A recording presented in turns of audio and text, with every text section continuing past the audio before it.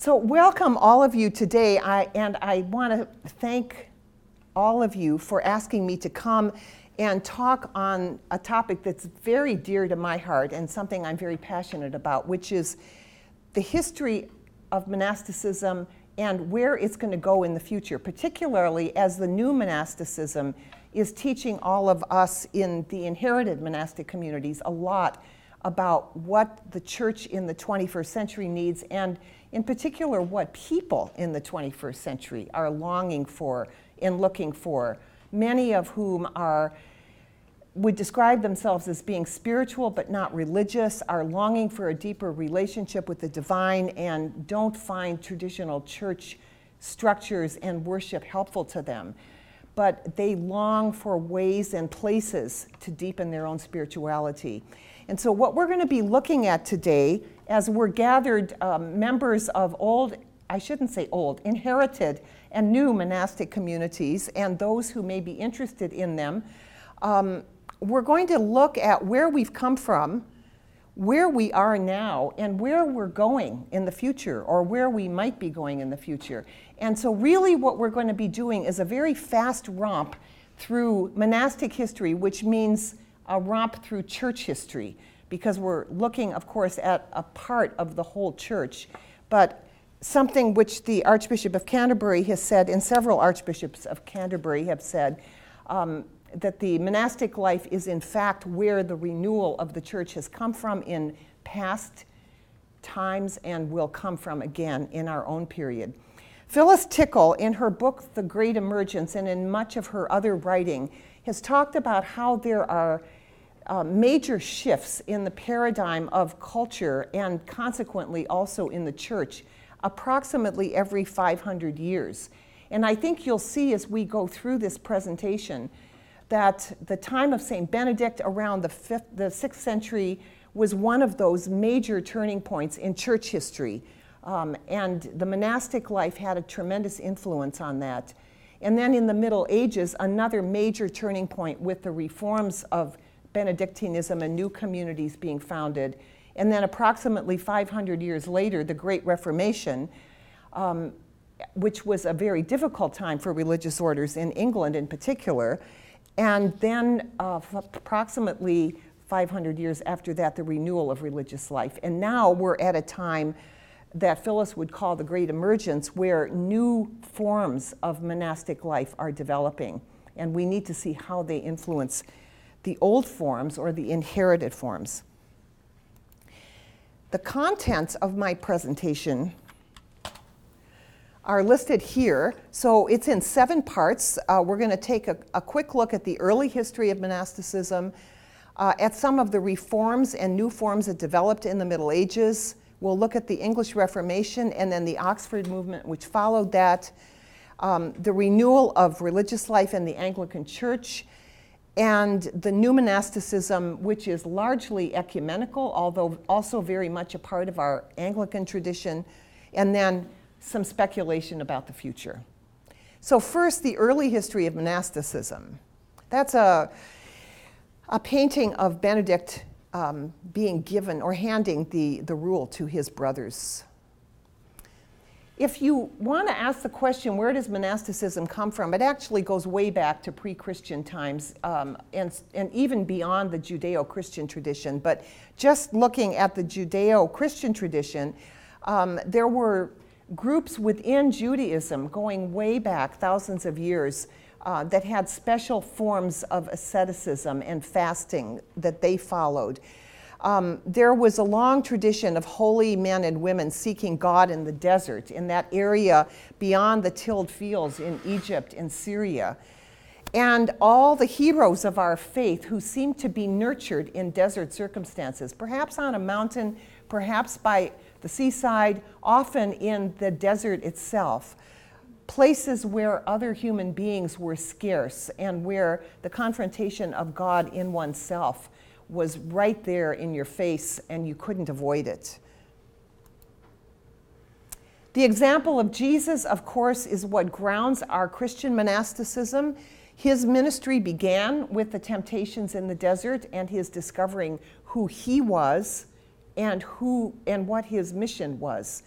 Um, his example of having nowhere to lay his head, his ministry was almost entirely on the road. People didn't come into a, a synagogue to find him. He was out there finding people. That has a lot to say about both the monastic communities today and the church as a whole and where it needs to look. He gathered around him a band of disciples. So, community life was important for Jesus, and they traveled with him. They lived a life of prayer and service to others, very much like monastic communities tried to do, shared their possessions, shunned any kind of earthly power or prestige, and a life totally given to God was the ideal that they lived for. In the early or apostolic church, as we call it, the time of the apostles, the first apostles, um, we're told in the book of Acts that when Peter preached on the day of Pentecost, there were 3,000 people baptized on the spot. And they continued in the apostles' teaching and fellowship, in the breaking of bread and the prayers.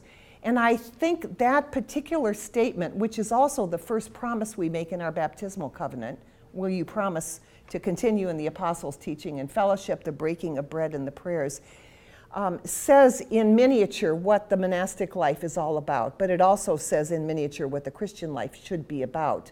Because monastic communities are really trying to set a, mo- a kind of model for what community life can be in the church.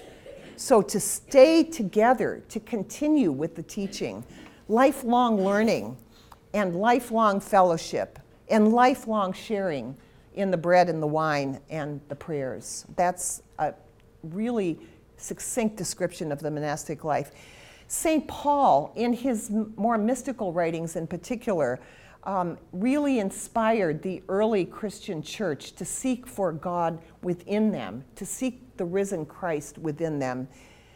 I want to know nothing but the power of Christ and his resurrection, Paul said. And that was the inner passion that drove people who were really wanting to do something with their lives that was more than the ordinary life of the ordinary person in the society around them. His emphasis on celibacy was also something that gave support to those who chose to live a celibate life. The apostles and their disciples continued the pattern of prayer, community, and service, very much as in that description from Acts. Deacons were appointed in the early church to undertake many of the pastoral and material responsibilities that later became the purview of the deans of the monastery. And so deacons and deans have a very intimate relationship with each other as the church develops.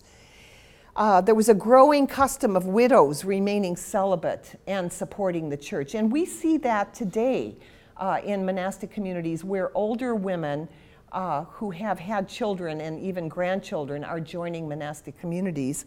And there's a brand new or almost brand new community in the Episcopal Church now, the community of the prophetess Anna, uh, that is specifically for women over the age of 50 or 55. Very interesting. Trying to recapture that particular aspect of early Christian life. The flight to the desert introduced another completely uh, different aspect to what was going to develop into monastic life. And when I say completely different, I mean only in the kind of structure of the life, not in the passion that drove it. Um, the early martyrs of the church helped to cause tremendous growth in the church. After Constantine was converted, even before that, things were starting to settle down after the last great persecution but particularly after Constantine was converted and legalized Christianity with the Edict of Milan in 313, the church began to accommodate itself to the surrounding culture, not unlike, I might say, at least from my point of view, we see happening in the church today. The values of the culture can very easily muddy the values of the, the um, Christian gospel that we try to live by. And many at that time, just as people now, were imbued with a desire for something more in their, their wanting to imitate Christ. And so they took off for the desert. The most famous of the desert fathers and mothers is St. Anthony. Um, and if you look at the dates of his birth and death, they are not incorrect. He lived to be 105, which says something about the healthy uh, atmosphere of living in the desert. Right? Um, he was a hermit to start with. Later, he started to gather people around him, and he is the acknowledged founder of the monastic ideal. Usually, the term monastic refers to uh, people living together in community as compared to the eremitical life or the hermit life, which is people living on their own.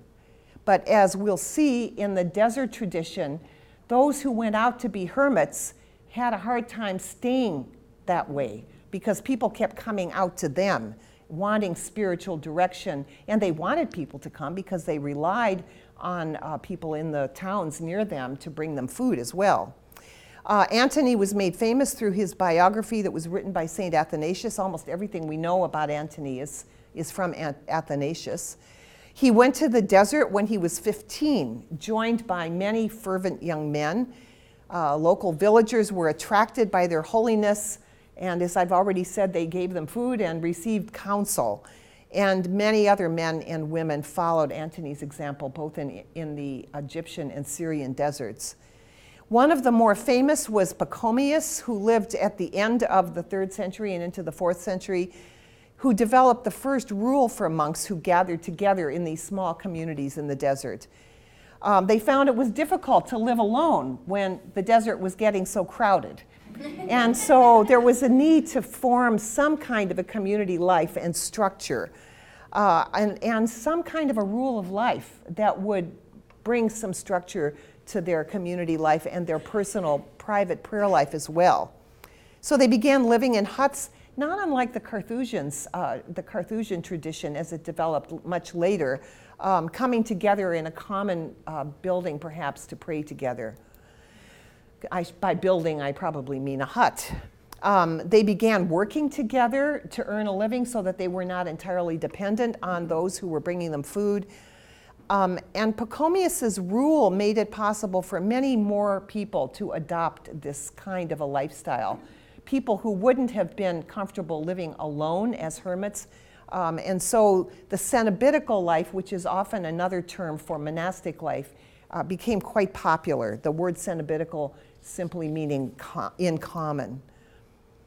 Um, now, as monasticism developed, there became really three different branches, and we don't have time to talk about all of that today, but just to give you a brief glimpse. Um, in Eastern monasticism, Western monasticism, and British monasticism were all somewhat different, and yet all of them inspired by the desert tradition. Um, Basil of Cappadocia, Basil the Great, wrote a more moderate rule than Pachomius and uh, reduced some of the emphasis on the austerities, especially the fasting. Um, and it became the standard for Eastern monasticism. And today, when you uh, go down to St. Michael's University in Toronto, the Basilian fathers living there follow the same rule of St. Basil as they did in the fourth, fifth centuries.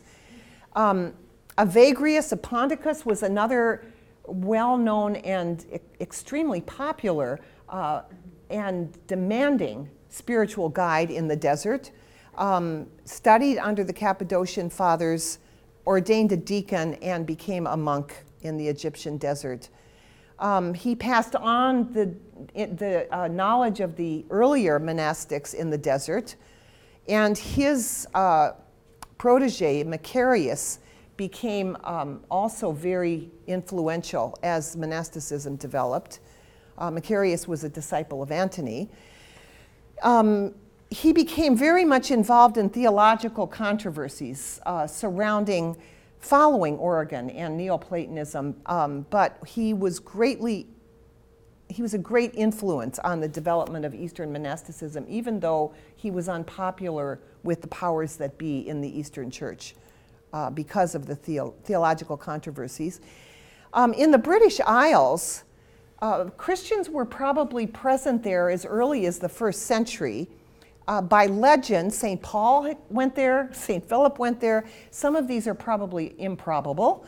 Um, St. Joseph of Arimathea, who planted his staff at Glastonbury and is famous for that, um, all came to England at one time or another. Most likely, all of them did not, but that's the legend.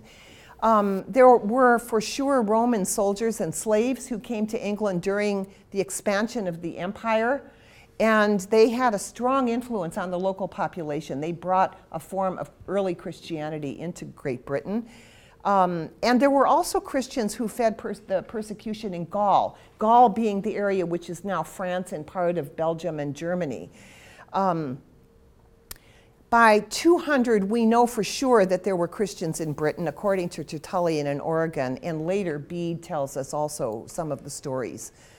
Um, in 325, the Council of Nicaea, which uh, created the Nicene Creed and tried to resolve the controversies around the Trinity and the person of Christ, um, took place uh, without any British Christians present to participate in the council.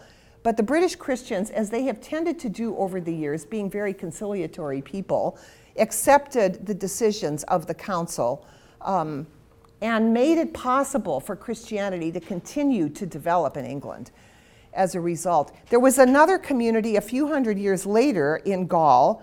Uh, formed by Honoratus, Saint Honoratus, who is a saint we don't hear about very much. Um, but St. Patrick and St. Bede, or the Venerable Bede, were both members of that community. Um, and it was the beginning of the desert tradition influence on the Celtic church because Gaul was largely Celtic. And it was the beginning of um, the development of a different kind of monasticism in England because, just as with languages, when people uh, drift away from a particular place, a language develops a different dialect, and if it stays separated from its kind of home base long enough, it tends to develop into a whole new language. And the same thing is true with the practice of our religions. And so, as the Celtic Christians who left Gaul and were planted in England and actually got pushed to the north and the west of the British Isles um, by the Scandinavian invaders, the Germanic invaders, uh, they became more and more separated from Rome until we hear about the Synod of Whitby in the 7th century, and I'll come to that in a minute. So they developed um, a form of monasticism that was much less structured than the Roman form was. Uh, it was based on abbots and abbesses being the, the real powerhouses in communities rather than bishops. And as you can imagine, when the Romans resettled England in the seventh century, when Augustine of Canterbury came, then there was starting to be some conflict, even though the Celts were around the edges. Um, meanwhile, in the West, what was happening to monasticism? Well, St. Augustine of Hippo, the earlier St. Augustine, was a great support of the cenobitic life and also wrote a rule um, not a formal rule, but a rule that developed out of a series of letters that he wrote to a women's community. Um, and those, that rule was adopted by other communities, especially communities that were more active and less contemplative, as we may say today. Monasticism throughout the ages has always tried to balance the contemplative or the prayerful side of their lives with a more apostolic or active side of their lives. And for various reasons, Augustine's rule, as compared to Benedict's uh, just slightly later, became the rule of choice for those kind of communities. Um, Cassian, in the, the beginning of the fifth century, had a tremendous influence on the, the theology of the religious life, of the monastic life. His institute served as a basic rule for communal life. Eventually, that was superseded by the rule of Benedict. And um, the conferences of the Egyptian monks, sometimes called the collations, um, also had a major impact on how people lived the religious life. His emphasis on the monastic life was very much interior, and all of the people in the 20th century who have helped us to recover the contemplative tradition through centering prayer and Christian meditation go back to the cloud of unknowing, but even more go back to John Cassian for their model of a contemplative prayer life. The rule of Benedict uh, was published in 530, drawing on the sayings and lives of the Desert Fathers and Mothers, I might add, on Basil's rule, on Cassian's conferences, and on another rule, uh, an anonymous one that was circulating at the time, the rule of the master. Um, he was faithful to Cassian, especially in his emphasis on simplicity, moderation, and always for Benedict, that sense of balancing things, balancing community needs with individual needs. So everybody is allowed um, two liters of beer a day, but if you're ill and you need a little extra boost, you might get three liters. So Benedict was always giving examples like this in his rule of how to uh, to respond to the needs of individuals and not put everybody into a box. And the balance between prayer and manual work, which was very important for uh, Benedictines. Now, if we are, we're going to summarize, and this is a really crazy summary, but it might help you just put all of what I've just said in some perspective. A really um, general summary overview of early monasticism starts with the desert tradition um, and through the rule of St. Basil, establishes a particular kind of monastic life in the East. And I wish we had time to talk about it. We don't. But it, was very different from the West and very much more um, related to individual monasteries rather than to the development of big orders and big structures. In that sense, it was more like the Celtic monasticism. Um, the desert tradition also influenced the Celtic Britons via Gaul, as we've already mentioned, and the desert tradition via Pachomius and Cassian influenced the rule of Benedict in the West. And so we can trace virtually all monastic life in the Christian church back to the desert fathers and mothers. The rule of Benedict, in turn, um, influenced Christianity in England to the point where some people have called England a Benedictine country, particularly uh, after the coming of Augustine of Canterbury at the end of the sixth century and into the seventh century. Um, and what we can learn from this that applies to us now, there was a tension or ambiguity between the communal and hermit life um, the Cenobitical and Eremitical, if you want to call it that, that was going to remain a feature of Western monasticism. Not so much in, it wasn't an issue as much in the East and in Celtic monasticism, but very much so in the West. And similarly, the tension between active ministry and contemplative prayer, um, which ultimately led to the so called mixed life of Anglican uh, spirituality. And I, I say so called because that always hasn't been as mixed as we idealize it. Um, we've tended to go from one extreme to the other sometimes, but that is always the ideal in Anglican spirituality, not Anglican communities only, but in the Anglican Church, which, as we will see later, is almost completely formed out of the Benedictine tradition. So, the next section that I want to talk about is the reforms and new forms. Um, some historians of monasticism talk about the new monasticism um, starting in the 12th century. So even the term new monasticism is not new. Um, desert, desert, spirituality, as people tend to forget about the origins and then go back to them, uh, and they would rediscover it, it reseeded Benedictine values over and over again. Um, and inspired reforms that were brought about by the fervor of monks who felt that their uh, monasteries or their communities were getting too far away from their founding ideals, and especially the institutionalism of Benedictinism. Um, in the ninth century, Benedict of Aniane um, uh, was appointed the archabbot of mon- all the monasteries in Francia. And that was a huge swath of Western Europe regularized and elaborated liturgical and other customs. This was the first time there had been um, a head of all the Benedictine communities. Up until then, they followed the same rule, but they were all autonomous. In the 11th century, Cluny in France and the monastery at Gorze in Germany both extended uh, Benedict of Aniane's influence throughout Europe, and things became more and more structured. Um, In the 11th and 12th centuries, as a result of this, we started to see large numbers of officials and servants and specialists for the various tasks of the community. And it's not very easy to see how that has happened in modern uh, Anglican communities, and I would say Roman Catholic communities as well. We have different names for those people, but we have employees um, and we have all kinds of specialists that we consult with, including financial consultants, that we are really dependent on. And so, like the monastic life in the 11th and 12th century, not everything any longer is done by the members of the community.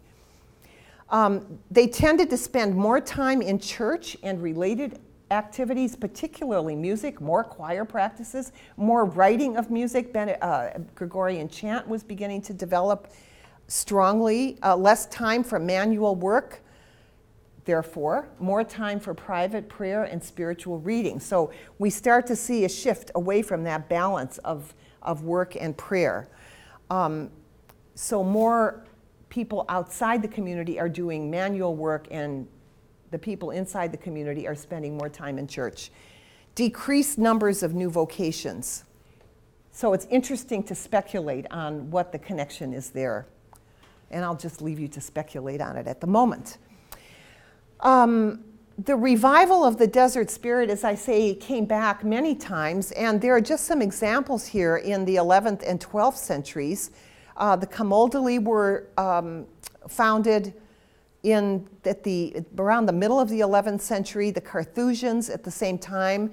Um, at the La Grande Chartreuse, we had the first big um, or influential, anyway, um, adaptation of the rule of Benedict, going back to the original Benedict. So, what we think of um, as Carthusians now were also really Benedictines.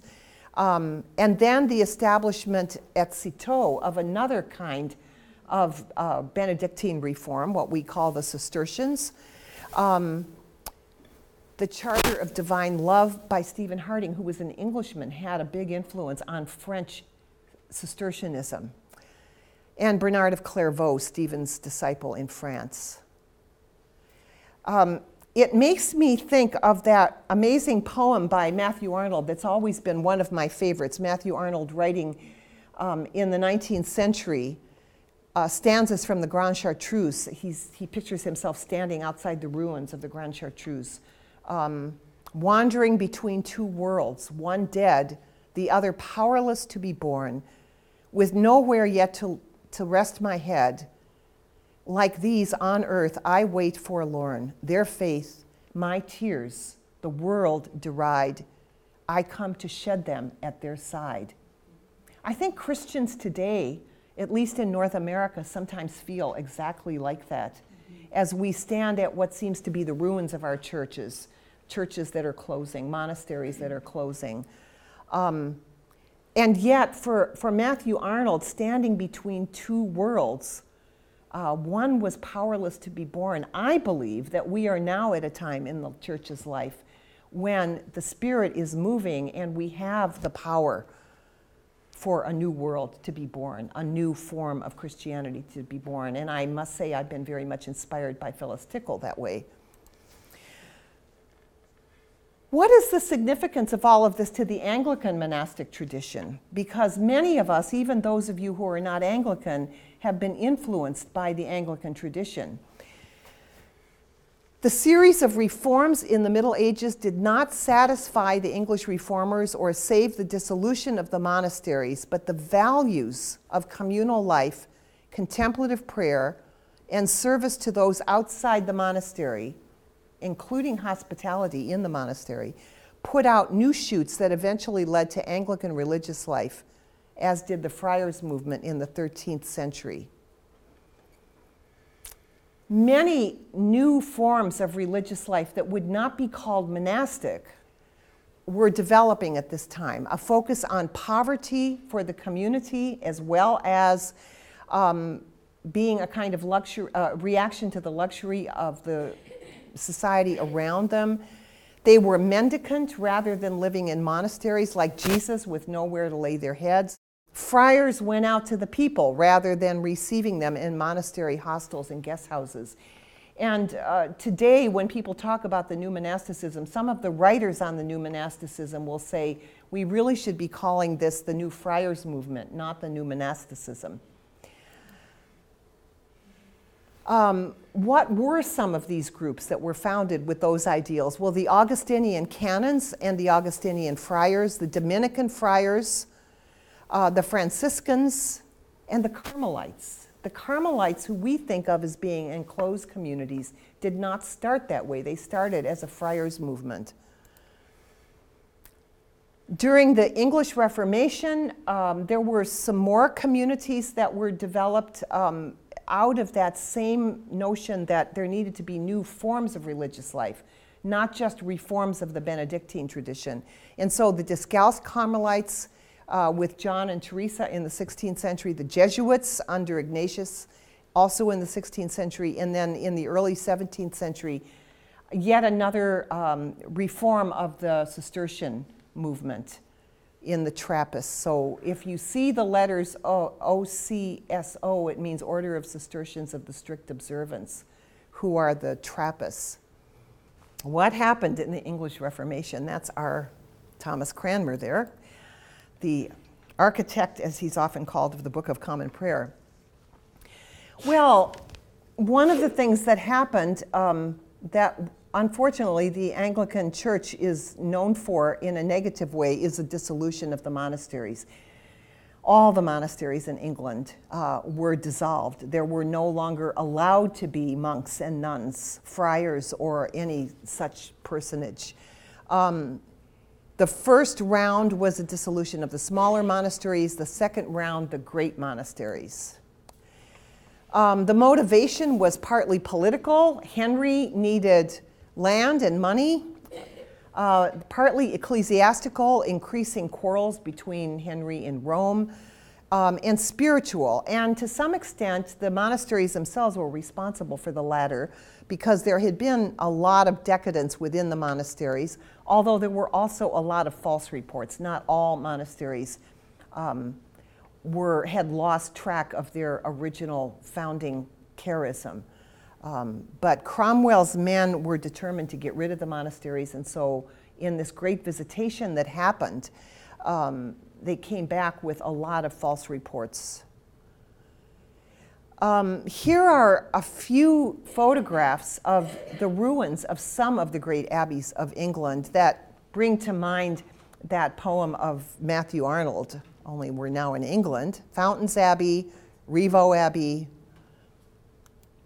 and Whitby Abbey.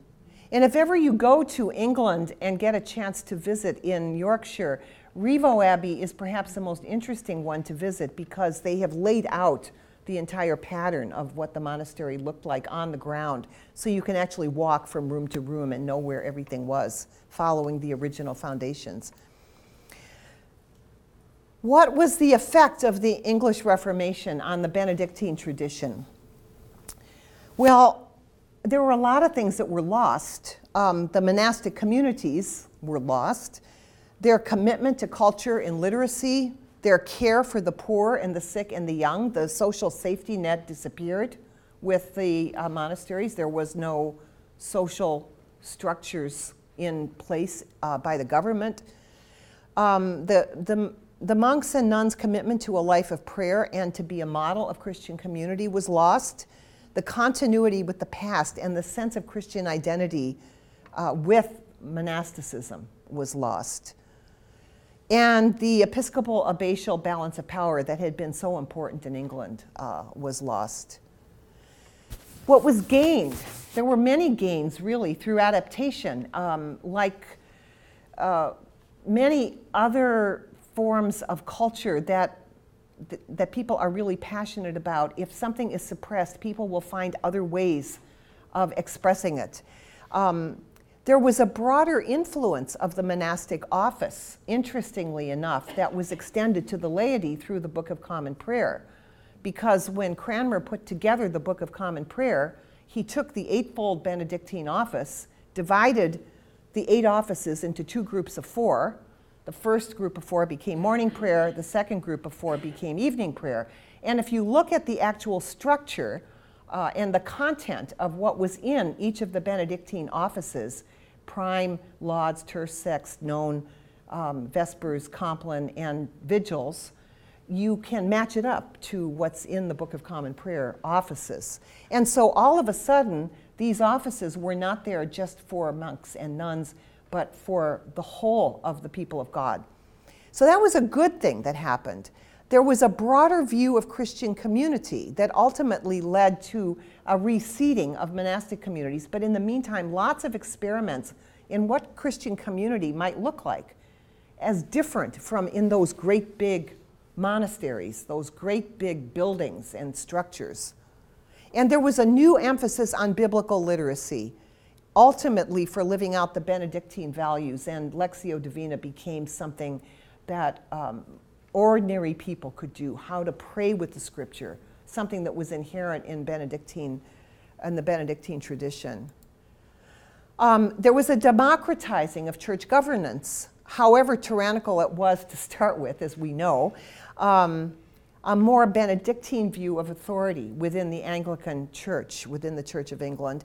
Congregational music. Previously, only monks could sing the very intricate Gregorian chant, and all of a sudden, we had uh, wonderful Anglican musicians who were creating Anglican chant and other forms of hymnody.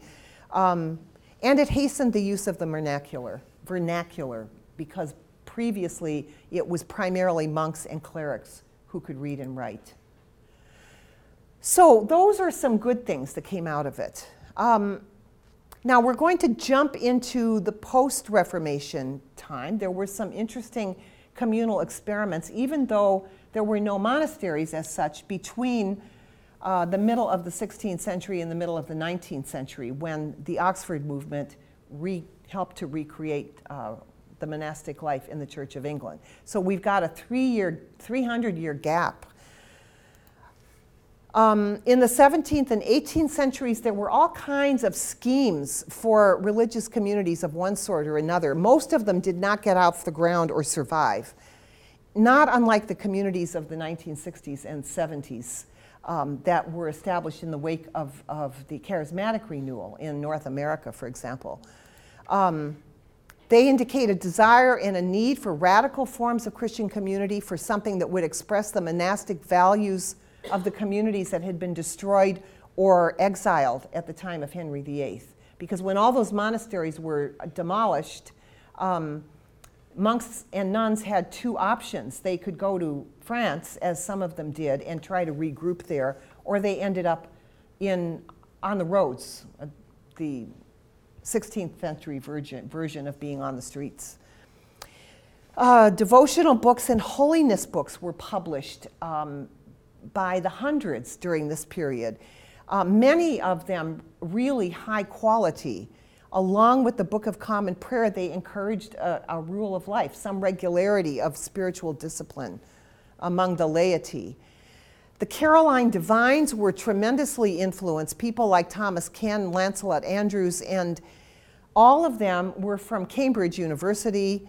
They tried to maintain a via media between uh, Rome and the English church, and they provided both vision and theological support for these kind of, ex, uh, communal experiments.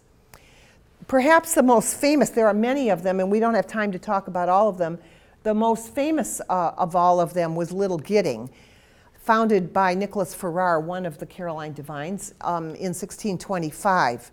And this is about a third of the way through this kind of desert period when there were no monastic communities. Um, he was a deacon and he went out of the city of London at the outbreak of the plague uh, to get his family away the household included families, um, about 30 people, his extended family, and they led a structured life of prayer, which he worked out very carefully. The community struggled after he died. It went on for a while, but without his leadership, it couldn't survive. Um, there's been a lot of interest in Little Gidding, and I think one of the reasons, again, is that people in our time are looking for other ways of living Christian community. that don't require the, the structures of a monastic life. Um, and you can sense this a lot in T.S. Eliot's poetry. One of the four quartets uh, is called Little Gidding, and it becomes a symbol for him of the fire and the rose of the spiritual life. Um, this is from the end of Little Gidding in the Four Quartets. All, and he's, of course, quoting Julian of Norwich. All shall be well, and all manner of things shall be well when the tongues of flame are enfolded into the crowned knot of fire, and the fire and the rose are one. And all shall be well, and all manner of things shall be well is something that I think uh, is a kind of mantra we should be using for the Christian church now and the monastic life as eh, both. There were lots of others. I'm going to skip over them because we don't have time right now um, to talk about them. Just to say that in the 18th century, John and Charles Wesley, particularly John Wesley and his Holiness Club at Oxford, um, was one of the one of the most well-known experiments in community life. Um, and then we, Charles Simeon as well in the 18th century. We come now to the Oxford movement, 300 years roughly after the English Reformation, after the dissolution of the monasteries. Um, John Henry Newman being the most famous uh, representative of that. Um, there's a photograph of him as an Anglican cleric and a photograph of him as a Roman Catholic cardinal.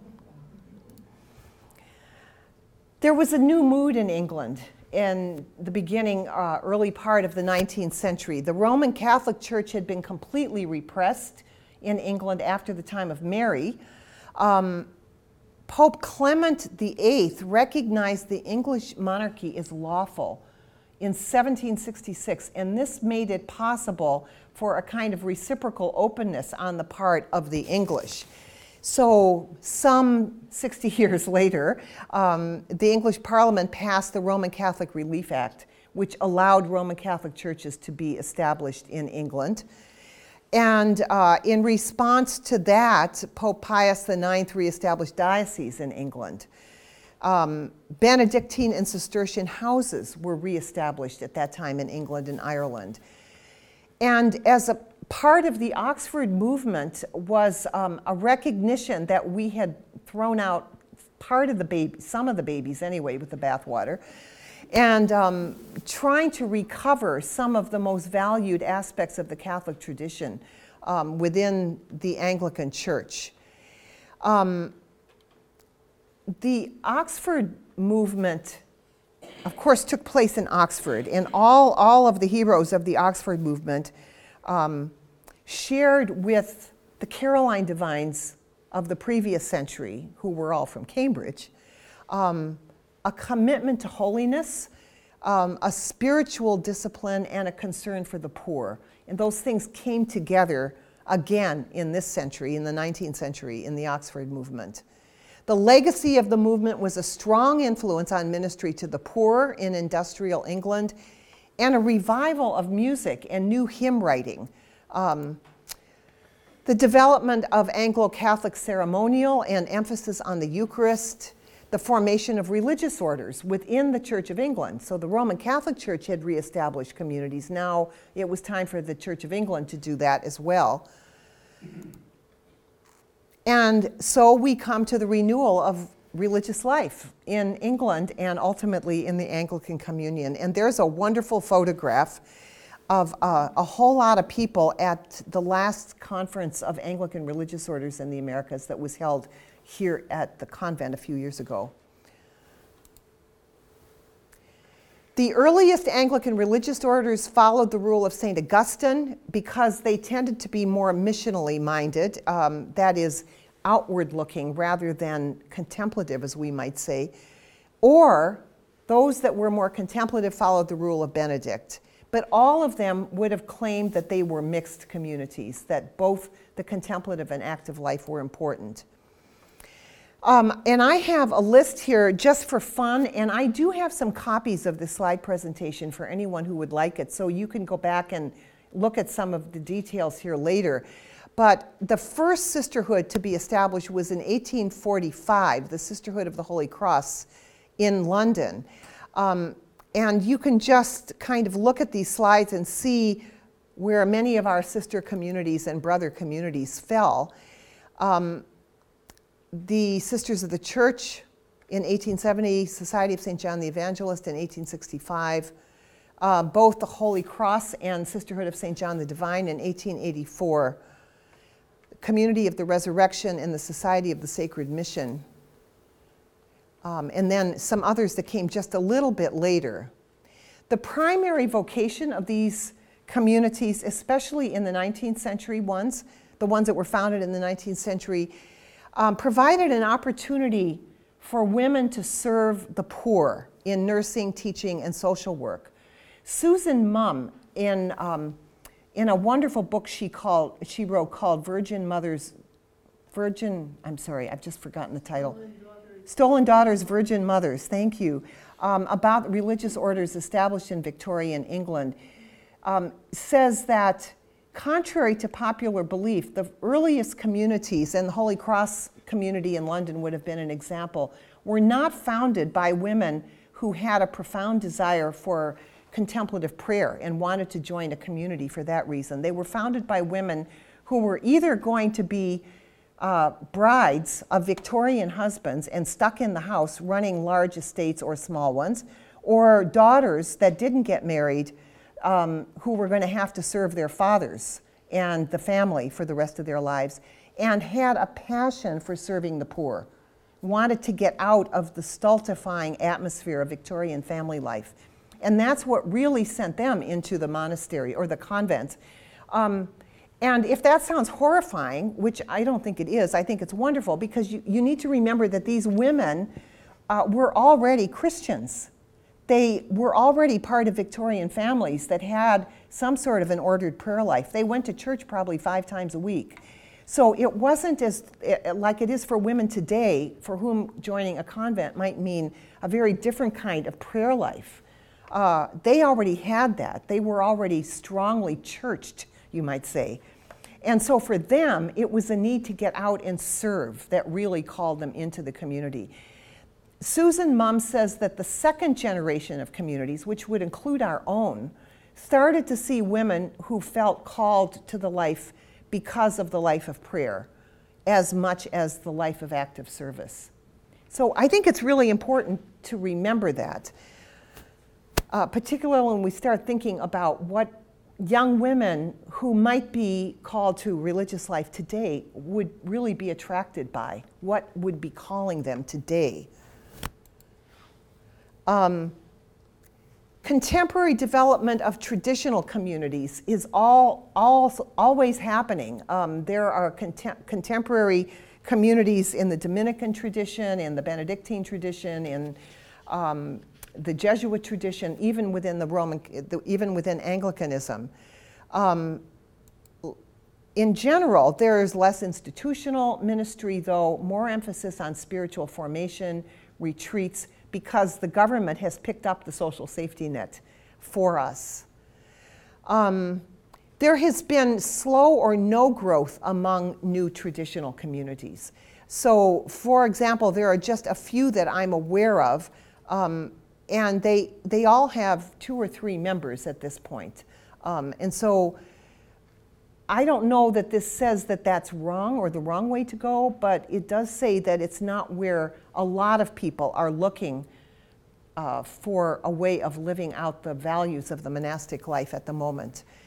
I've given a list of all the members that belong to the Conference of Anglican Religious Orders in the Americas. Um, just out of interest, there are about 20 of them. Um, all of them very small. We are among, I think we're probably the second largest next to Holy Cross, um, with just over 20 members. And so that gives you an idea of where some of these other communities are. Um, and what, where we find our health and our growth among many of these communities is among associates and oblates. So when you think about a community like ours or a community like any of the Anglican communities in North America, it isn't just the inner circle of sisters or brothers that comprise the community, it's hundreds of people that are part of that community around them as well. And that's something else that we're coming to focus more and more on.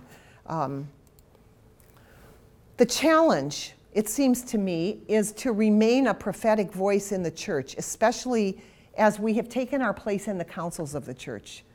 We used to be much more on the edge. Now we go to General Synod, we go to Diocesan Synod, we, we have a sister on Diocesan Council, we have people involved in all kinds of church committees. We're, it becomes more and more difficult to speak out against injustices in the church when we're a part of the church. To grow healthy communities in a post Christian age is the greatest challenge, I think, and particularly for women's communities when virtually everything is now open to women.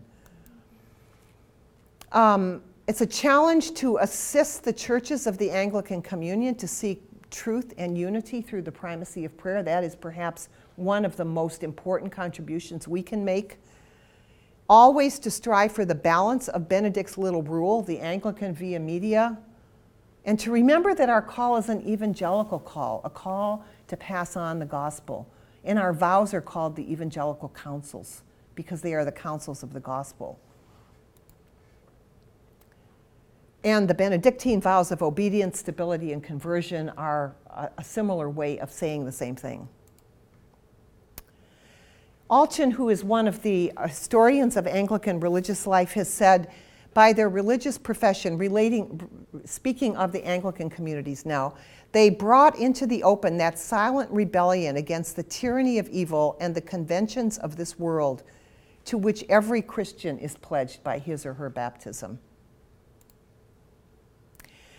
And so we come to other 20th century communities. There have been many that are precursors, I would call them, of the new monasticism, of what we today would call the new monasticism. The Oratory of the Good Shepherd is an Anglican communi- community of dispersed, mostly clergy. Um, the Iona community, Taizé community, lots of people know about, so I won't say much more about them. The Community of Jesus on Cape Cod, um, is a very interesting community that has stayed very much to itself, but is a large and influential community in certain circles, especially in church music and in liturgy. Um, and is made up of both uh, a convent, um, a, friary, convent for sisters, a friary for men, and a whole lot of uh, families, couples and families that also make Benedictine vows. Um, there have been lots of Christian communities that have grown up that haven't fit the exact definition of the monastic life in that they don't necessarily make life vows, they don't necessarily make the traditional vows. Many of them are dispersed or they're a mix of uh, dispersed communities and residential communities. And so they fall under, in the Episcopal Church, we don't have canons that govern communities in, in the Canadian Church which I think is a, a, really good thing because we're more flexible as a result. But in the Episcopal Church, these Christian communities that are not traditionally monastic fall under a different canon and they're referred to as Christian communities instead of monastic orders. They are part of an organization called the National Association of Episcopal Christian Communities, and that association now meets annually along with CAROA, which is our uh, group, the Conference on Anglican Religious Orders. And there's just a list of them. You can see that most of them are quite new. Uh, and, and v- I haven't been able to find the founding date of all of them. I've got most of them. Um, and there are some more. Um, the most recent one is the Community of Divine Love that I, well, maybe not the most recent, one of the most recent, yeah, um, that I just heard about from Sister Elizabeth and Sister Elizabeth Ann uh, from the CAROA conference. And they are um, a community that is particularly um, has a particular charism to work in prison ministry and whose associates are all people in prison. I think it's an amazing example of, um, of a new way of looking at what religious life can be in, in our culture. What exactly is the new monasticism?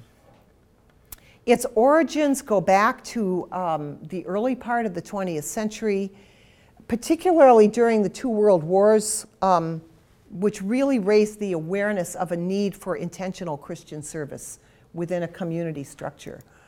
Um, Lots of romantic and futuristic literature of the 19th and 20th centuries had an influence, like Walden Two.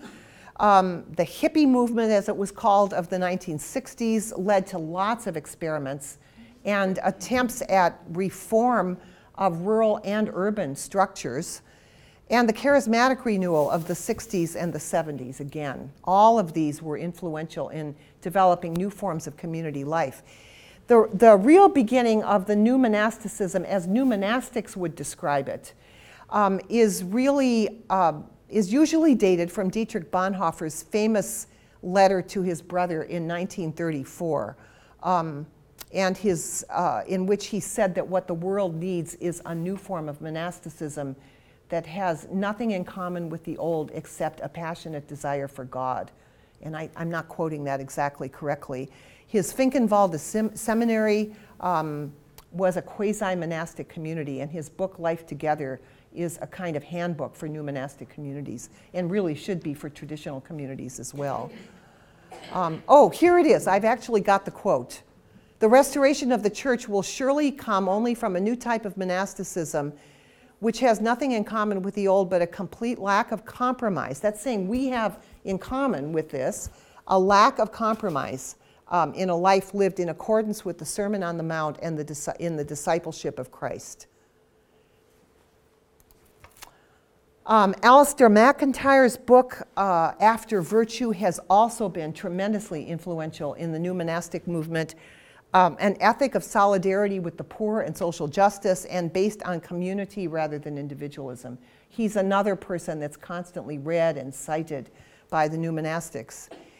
Um, it was a movement that, was, uh, that has been very, um, very creative and unstructured, but in, um, ni- in 2004, one of the communities brought together all of the communities that they knew of that would identify themselves as new monastic. And together they articulated the 12 marks of the new monasticism. And I'm just going to read these because it's interesting to listen to these and see which of these also relate to the traditional communities or the ones that we live in and know about. And I mean not just monastic communities, but church communities as well.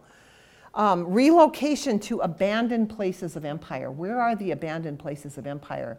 And that may be physical and it may be spiritual.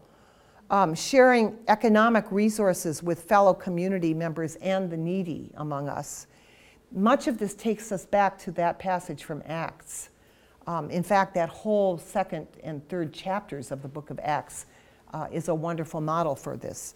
Hospitality to the stranger, lament for racial divisions within the church and our communities, combined with the active pursuit of a just reconciliation.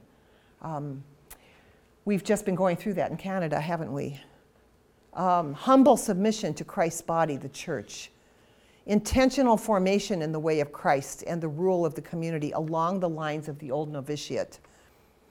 Nurturing community life among members of intentional community. Support for celibate singles alongside monogamous married couples and their children geographical proximity to community members who share a common rule of life. And this is perhaps one of the most challenging of the marks of the new monasticism for dispersed communities, how to do that. Care for the poor, care for the plot of God's earth given to us, along with the support of our local economies. Peacemaking in the midst of violence and conflict resolution within communities. Commitment to disciplined contemplative life. So those are really worth rereading and meditating on as a possible structure for any new community or renewed community uh, in the Christian church today. Here are just a few examples of new monastic communities. Um, I'm not going to read these, you can just look at them. Some of them are familiar and older, some um, are quite new, and they vary from the Catholic worker, worker movement to the Northumbria community, which is a, a Celtic community, which has a small branch in uh, Toronto. Um, one of our, uh, the Benedict's Table in Winnipeg is a kind of new monastic community. Um, and some really current ones the Jeremiah community here in Toronto, the Emmaus community in, in Victoria. Um, the church army is reforming itself as a new monastic community called the Threshold Community.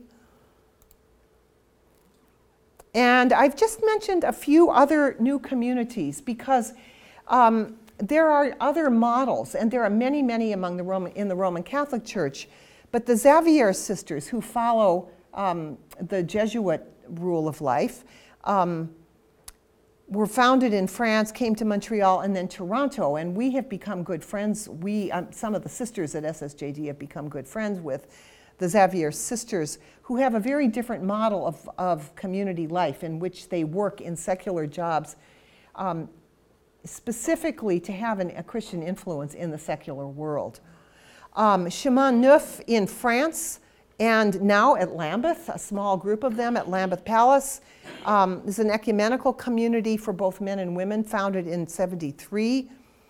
Um, and I mention that one because it's significant that the Archbishop of Canterbury is beginning the community of St. Anselm with um, the me- mentoring of the Chemin Neuf community. So as soon as he was installed, he asked members of the Chemin Neuf community to come to Lambeth and be a praying presence.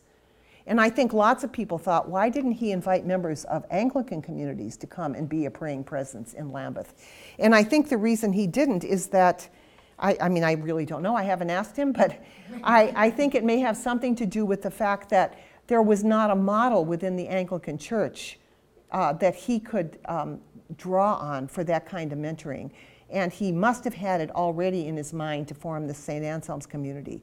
And he wanted a community already um, matured that could help to do that. And so the community of St. Anselm will start in September 2015 at Lambeth for uh, people across the Anglican Communion between the ages of 20 uh, and 35. And I want to read you something that just came. I, I subscribe to their emails um, because there's so much exciting that's happening with this community. And I just, I'm just going to turn the light on for a moment. This is very brief, but um, there's going to be a group of about 40 people living in Lambeth and then there's going to be a large circle of people who are locals who will be non residential members of the St. Anselm community. And this is the most recent post from their blog, um, reaching out to young people to be a part of this um, extended community of St. Anselm. And the headline reads St. Anselm at Work Make Prayer the Bottom Line. as a non resident com- member of the community of St. Anselm, and I think the same thing could be said about the residential members, but this is, happens to be aimed at the non residential members, you'll learn ancient monastic ways of being radically committed to Jesus and use them to transform your whole approach to work. We all know there's a real need for integrity in our world today, in finance, business, politics, and every other sphere we need people whose actions are rooted in a deep commitment to the common good. The non residential program of the community of St. Anselm is a year long challenge to combine your job with a demanding rule of life that the ancient Christian monastics would have recognized. This idea is that you commit to one evening a week with regular weekends, plus several group retreats over the year, while maintaining your work commitments. We like to think of it as an ethical boot camp aimed at putting Jesus at the center of your life. Now, can you see this inspiring young people between the ages of 20 and 35? I feel the blood rising in me and say, I'd like to do this. With a group of young Christians from many different backgrounds, you'll follow a pattern of prayer, study, and deep self reflection and service. Put simply, it's about doing whatever it takes to become more like Jesus and living out that discipleship in your workplace and everywhere else. Are you up to the challenge? Find out more and start your application now. I mention that because I think that so many of the new monastic communities are trying to do something like that, trying to um, be there for people who have a strong passion for social justice, for hands on work with the poor, as well as this deep, deep longing for a more contemplative and more intimate relationship with God. So, coming back to that balance between the active and the contemplative. Okay. Well, I want to just say a couple words about the emerging church and emerging church values. We hear a lot in Canada about fresh expressions, but not much about the emerging church. And the emerging church is a much bigger movement that would include uh, fresh expressions. Um, there are some common international values that are very similar, actually, to the marks of the new monasticism. Um, a desire to imitate the life of Jesus, the transformation of secular society, emphasis on community living, communal living, welcoming outsiders, being generous and creative, and leading without control. Now, this comes from Eddie Gibbs and Ryan Bolger, who have written perhaps the, the, the kind of, the, maybe the seminal book on the emerging church, at least it was in 2006. Um, there are many, many more books that have come out recently.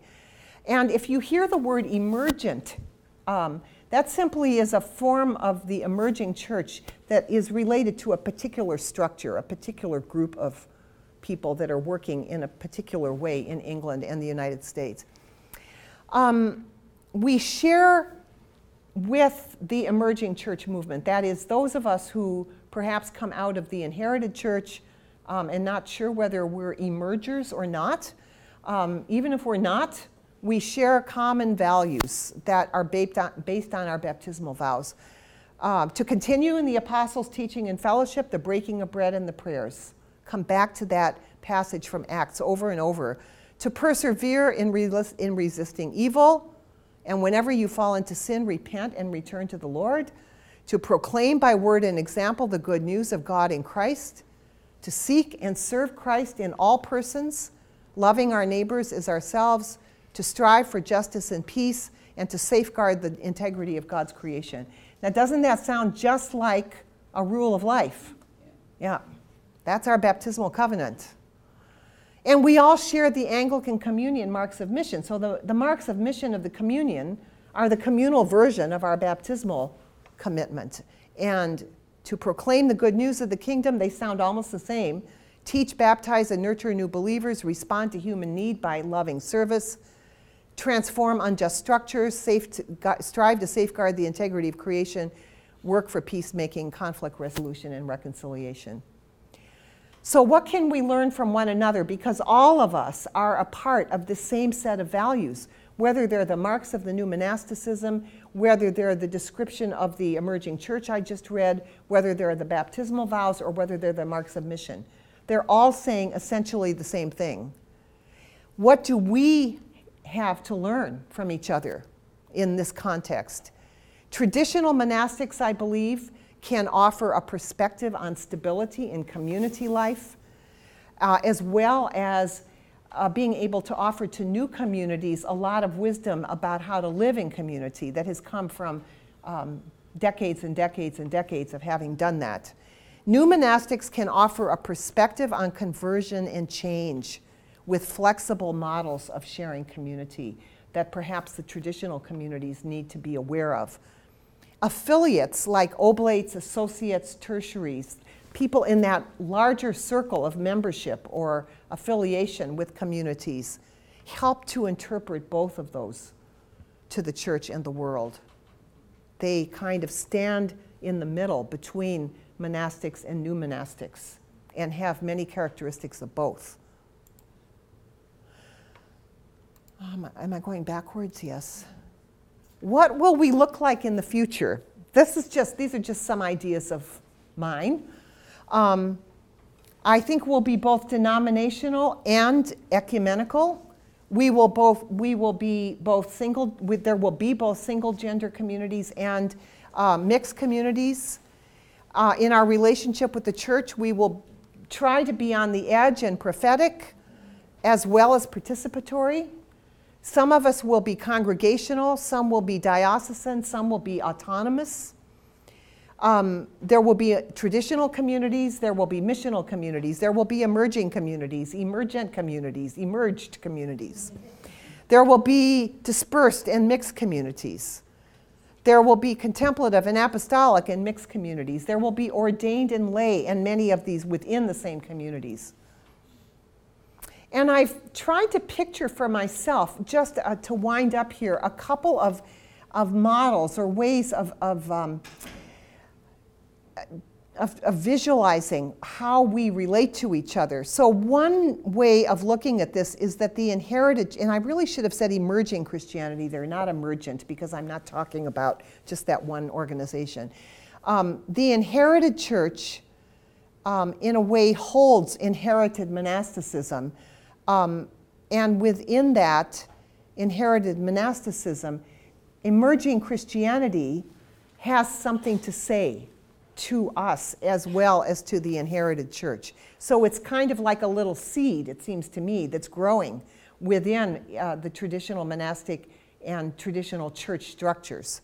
And we have to pay attention to that little emerging seed because it's going to become a shoot all by itself. Um, and then if you look at emerging church itself, within that is both the new monasticism and fresh expressions and the emergent community and all kinds of other groups um, that are trying to fi- find new ways of being church as well as being community in a post Christendom society. And another way of looking at it is um, as kind of three overlapping circles in a Venn diagram. Um, so the emerging church, which has to be both missional and attractional. So it needs to be both a church that goes out uh, as Jesus went out, um, as Philip met the Ethiopian eunuch on the road, not in a house somewhere.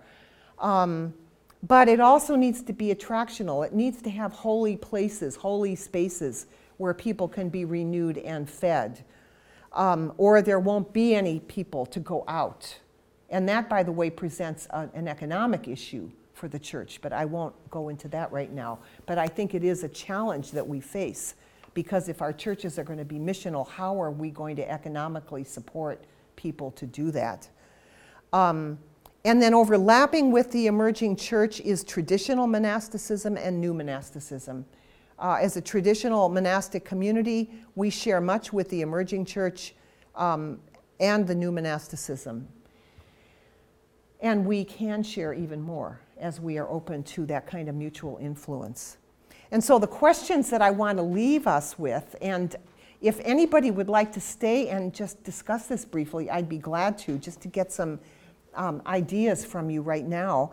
Um, what would you like your community to look like 10 years from now? And by your community, that's your parish, um, any community you belong to within your parish, uh, SSJD, SSJD Associates, whatever, uh, SSJD Oblates. And what do you think God might want your community to look like in 10 years? And it would be very interesting to talk about what the overlap is between those two. How much of a Venn, I mean, how, how much overlap of those two circles is there between what you would like your community to look like in 10 years and what honestly and as objectively as you can, you think God might be wanting your community to look like in 10 years? Are, are they almost the same or partly the same? And then, whatever that is, how could it happen? So, may I leave you with those questions?